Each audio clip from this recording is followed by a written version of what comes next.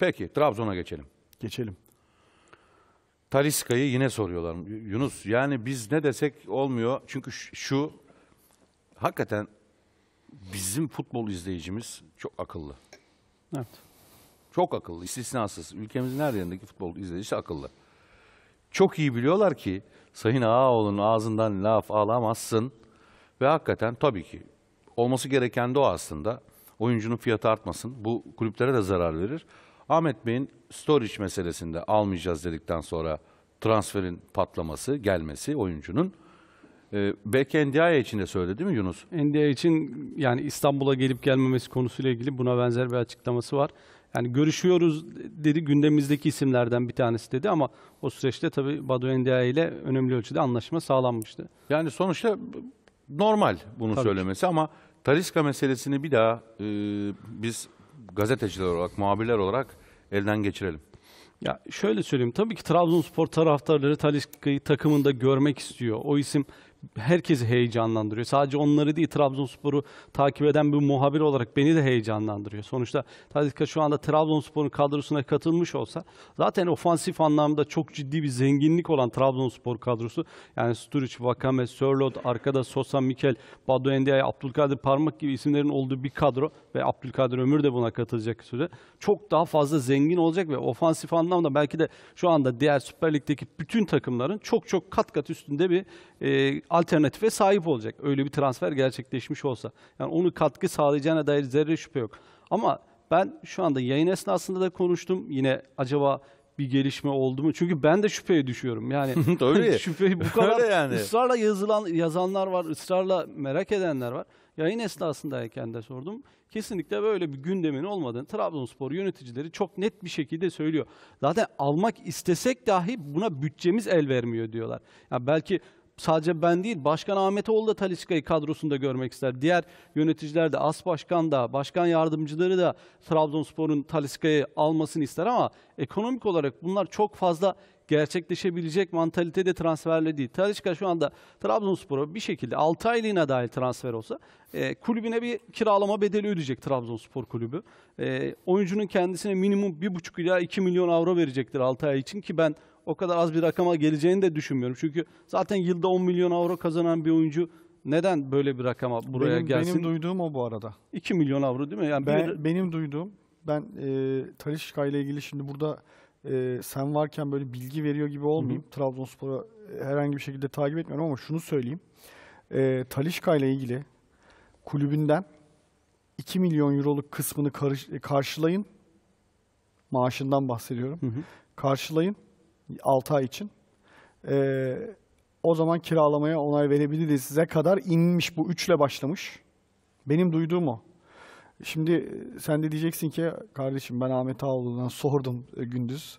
Ya Adam bana bunu söyledi. Şimdi sonuçta başkan bunu söyledikten Beyan sonra esastır. benim benim bu- bunun üzerine daha fazla spekülasyon yapmam ayıp olur. Ayıp başkan olur. ayıp Beyan olur. esastır. Yani- Ama ben tamamıyla da hiç ilgisiz bir durum olduğunu da düşünmüyorum. Onu da sana söyleyeyim. Yani ben de az çok transfer piyasasında işte sağ sol aradığımız için sadece Fenerbahçe ile ilgili değil. Bazen denk geliyoruz.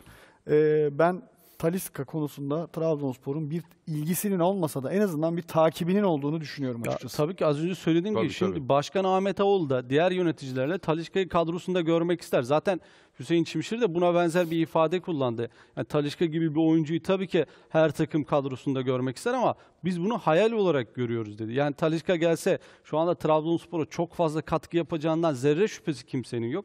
Ama bahsettiğimiz rakam 2 milyon avro diyor Volkan. O rakamı bile Trabzonspor verebilse şu anda yani Türkçe tabiri çevirdiğimizde 12 milyona yakın bir 10 milyona yakın bir Doğru. rakama tekabül ediyor bu. O zaman Trabzonspor'un esas ihtiyaç bölgesi olan stopere takviye yapmak konusunda çok ciddi bir kısıtlamaya gidiyor Trabzonspor kulübü. Oraya belki de e, ihtiyaç duyduğu özelliklerde değil de biraz da alternatif bir oyuncu alma zorunluluğuna düşebilir. Bu Trabzonspor için biraz geri planda. Şu anda öncelik stoper transferi. O transfer gerçekleşirse sadece sağ kanatta değil her iki kanatta da oynayabilen özellikle bitiricilik noktasında, skora katkı noktasında fark yaratabilecek bir oyuncu kadrosuna katmak istiyor. Ben Talisca ile ilgili sadece Trabzonspor tarafından değil, yani oyuncuyu Beşiktaş'a getiren menajerle de görüşme fırsatı buldum. O da şu an itibariyle böyle bir temasın olmadığını söylüyor. Ama yine program içerisinde de yine birkaç kişiye yazdım. Eğer cevap gelirse bu konuyla ilgili daha farklı detaylar if- ifade ederiz. Ama şunu söylemekte fayda var. Burada tabii ki taraftarları bir hayal kırıklığına itmek istemiyorum. Çünkü o kadar fazla haber yayıldı ki herkes yani Talisca'nın yarın kampa katılacağını iddia edenler var. Trabzon'daki ilk maça yetişeceğini iddia edenler var. Gerçekten bunlar insanlarda çok ciddi bir beklenti artırıyor. Beklentiyi yükseltiyor. Ama Beklentiyi yükseltiyor. şu an öyle bir şey yok. Şu an öyle bir şey yok ama tabii ki bu süreçleri siz de çok iyi biliyorsunuz. Yarın olur farklı bir şey gelişir. Onu da bakacağız artık. Yunus senin mesela şey gözlemin çok yerindeydi. Hazırlık maçı, Bursa maçı ki yarın yine beraberiz Partizan maçında. İki stoper, sol stoper oynattı. Fernandez, Ivanildo Fernandez ve eee Yani Hüseyin'i. Macit Hüseyin'i sezonun ilk yarısında mecburiyetten zaman sol stoper olarak değerlendirdi onu e, Ünal Karaman. E, Fernandes zaten sol stoper olarak görev yapıyor ama Macit Hüseyin'i yani transfer edildiği dönemde asıl mevkisi olarak sağ stoperde de sağ stoperde görev yapıyor. Ama sezonun ilk yarısında mecburiyetten kaldığı için onu sol stoper olarak görevlendirdi. Ve dünkü karşılaşmada da ikisi birlikte oynadı. Bence çok kötü de bir performans ortaya koymadılar ama yarınki Partizan maçında Hüseyin Kampi ikilisini göreceğiz. Ee, muhtemelen birlikte oynayacaklar. Onlar ligde özellikle son haftalarda daha fazla birlikte oynayan bir ikili. Kampi ilk geldiği dönemde çok fazla eleştiriliyordu. Yani bu bu transferin Trabzonspor'u e, şampiyonluk yolunda başarıya taşıyamayacağı yönünde yoğun eleştiriler vardı. Ama özellikle son 5-6 haftadır ortaya koyduğu performansla bence bu eleştirilerin dozajını bayağı bayağı azaltmış durumda. Ama hala beklentileri karşılayacak seviyede mi? Orası e, çelişkili. O yüzden işte Trabzonspor oraya çok nokta, çok isabetli bir transfer yapmak istiyor. Alındığında kimsenin tartışmayacağı, bu isim gerçekten Trabzonspor'a katkı sağlar diyebileceği bence çok tecrübeli bir ismi katacak Trabzonspor oraya.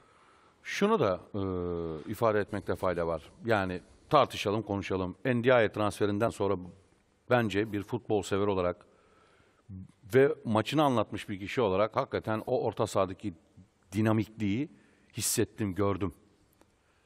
E, çok faydalı bir transfer yaptı. Çok akıllı bir transfer yaptı yönetim. Hakikaten tebrik edelim. Bir 11 yapsak şimdi otursak burada. 11'i nasıl yaparız? Gerçek 11'i Trabzonspor'un. Bir kere Uğurcan tamam. Zaten kafada.